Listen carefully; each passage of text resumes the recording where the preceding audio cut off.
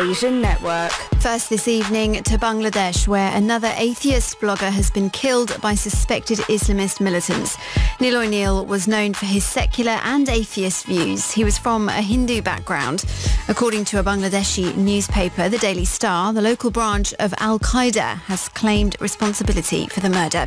It's one of several similar murders this year. Nikesh Rugani has been looking at those cases.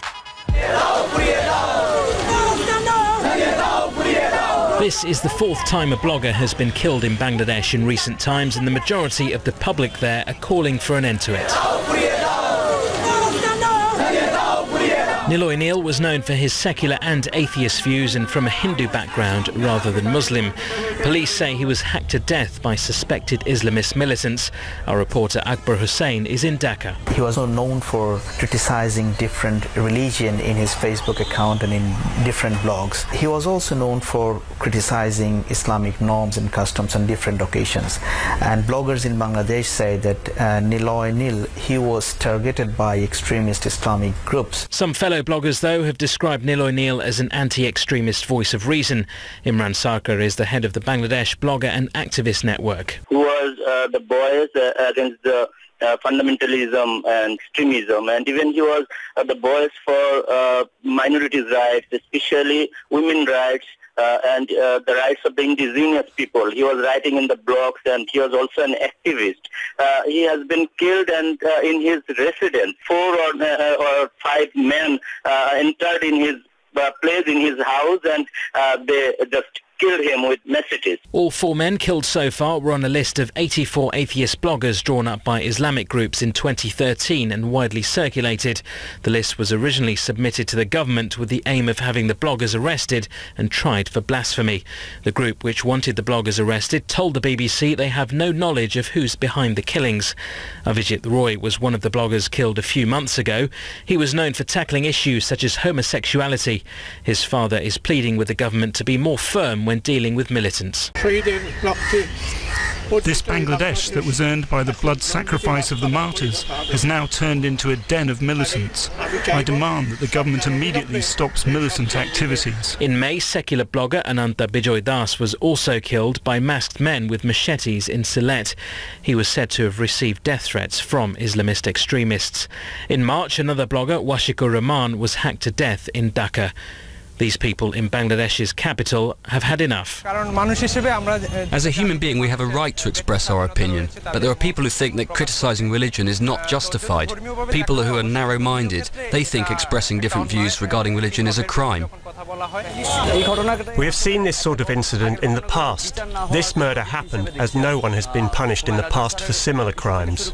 A group of people are targeting bloggers and writers who are giving different opinions regarding religion.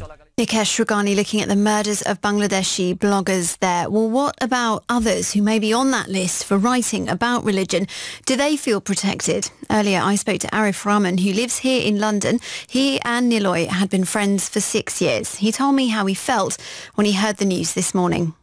I definitely froze, um, and I, I still have, the, have that feeling in my body, that feeling of, of absolute chill. We've heard today that Niloy was worried about his security. Were you aware of this? Uh, yes. Uh, along with Niloy, we were worried about a lot of other uh, bloggers in Bangladesh.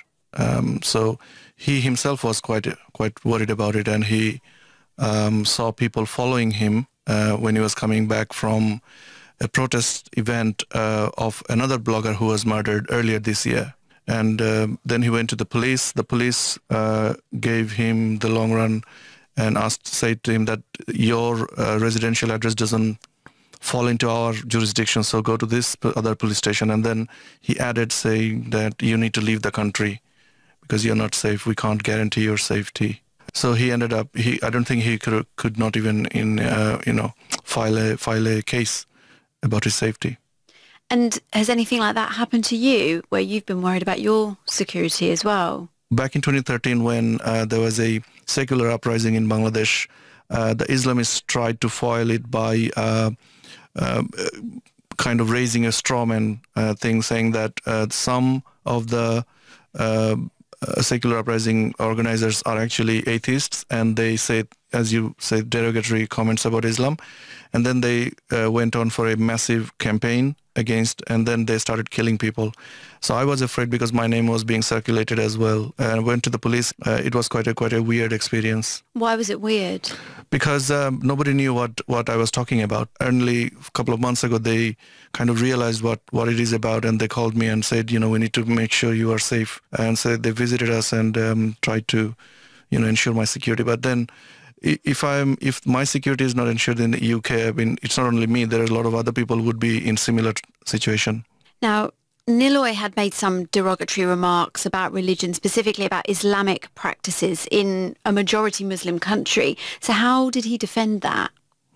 I don't know why we need to defend uh, comments um, because although Saudi Arabia wants the world to be passing blasphemy law, uh, criminalizing uh, defamation of religion, it's not the case at the moment, and I don't think it will happen as long as UN uh, uh, Charter Article 19 is there because that gives people to actually do exactly the same thing, make comments and, and freedom of speech. So he doesn't need to defend it. Um, it's the people who's killing people for making the comments. Uh, those are the ones we should be asking the questions why you're doing this and when you're going to stop. Now, what's your hope for bloggers and writers like yourself to be able to have freedom of expression going forward? We are obviously definitely worried about it because um, it's not only the Islamists that are uh, cherry picking us and then killing us, but also government is completely turning a blind eye to this thing. And um, it's been almost two years when the first killing took place. Nothing has been done. Not a single arrest has been made by the government. Bystanders caught some of them and handed them to the police. And if we ask the government, um, we hear that, you know, as you said, uh, they made derogatory comments about Islam, so we can't protect them. So yeah, Bangladesh is, is, is in a very bad, bad situation in that sense.